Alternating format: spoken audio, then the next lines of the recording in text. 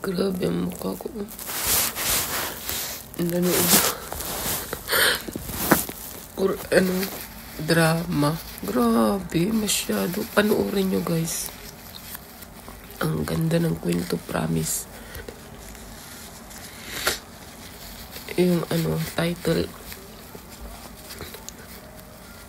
Um, Family Bring Me Home. Ay, grabe, nakakayak talaga, promise talaga. As in, hinanap ko sa YouTube. Nakikita ko kasi sa TikTok yun. Family, sabi niya, A Family Bring Me Home ang title. Napakaganda. Tapos, sinearch ko sa ano, sinearch ko sa YouTube.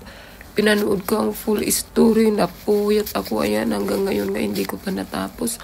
Ang ganda ng story, promise. Ayan, umugtong-mugtong mata ko kaiiyak. Ay, ang ganda ng kwento. As in.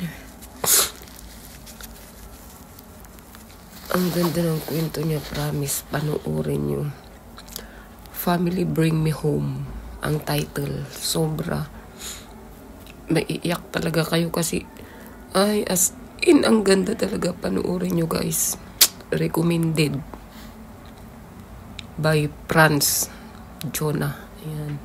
Just watch it.